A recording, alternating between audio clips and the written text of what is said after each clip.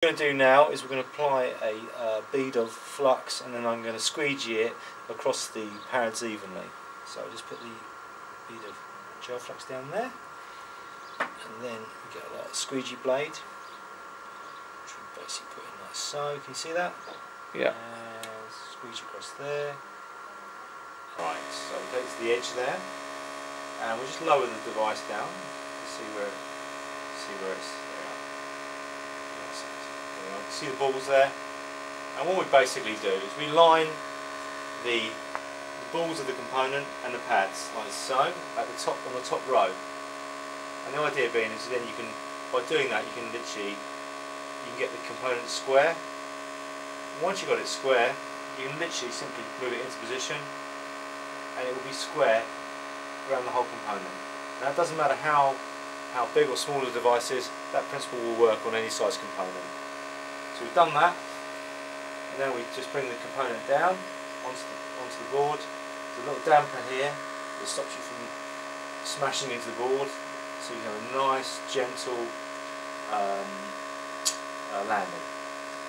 So we'll just deactivate the vacuum, move the pickup out of the way. Okay, we're now ready to actually do the heating side. What we need to do now is put the lens unit into position and we press the align button on the software. This activates the focused IR and we use the iris to vary the size of the spot so that we can cover the component precisely. Deactivate the align button, it's also on a timer as well but I've just done it uh, sooner.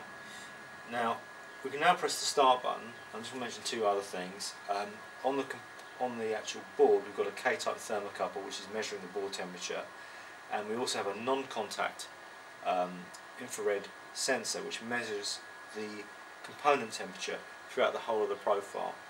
And this software basically controls all this and so so, so you'll precisely follow the temperature profile automatically going up to reflow and, and, and uh, turning off at the end of the profile as you would in, in a reflow oven. So let's start that and off we go. Okay, as you can see on the profile you've got two lines.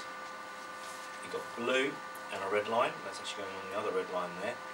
And the blue line represents the back heater temperature and the red line represents the uh, component temperature.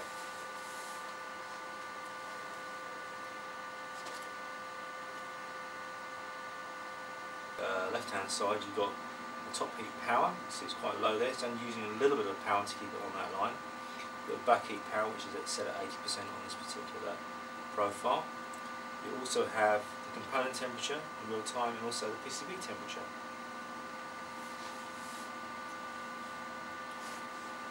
As stated earlier on, it's it's automatic, so you, you don't have to actually do anything at this stage, you just let it follow its temperature profile and it will accurately do this time and time again.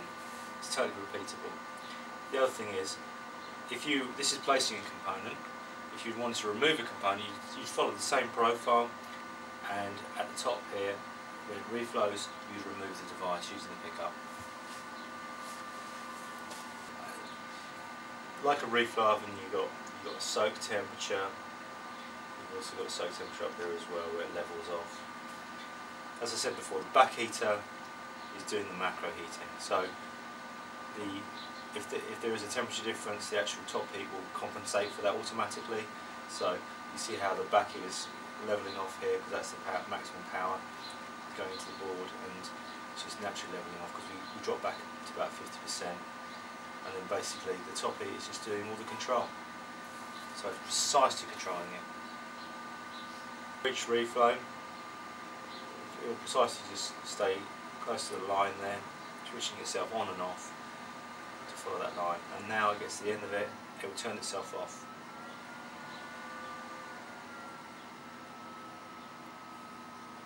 So it's actually following the temperature profile down there.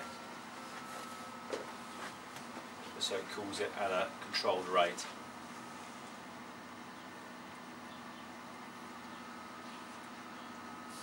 That's also important because if you don't control the temperature going down, you can actually thermally shock the device if just reflowed. So just like the same way the, as, it, as you have in a pro, uh, in the same way you control the temperature as you as you as you're cooling down in a reflow, and we do it also uh, with the uh, with our with our system also. Well, that's the end of the profile, and uh, that device has been perfectly soldered to the board. This uh, we generally we allow the board to cool down to about 180 before we actually take it from the jaws, um, just to make sure everything is uh, all the solder is basically uh, solid. Um, and now the board will be ready to either go to, to be tested and then to go to the customer basically.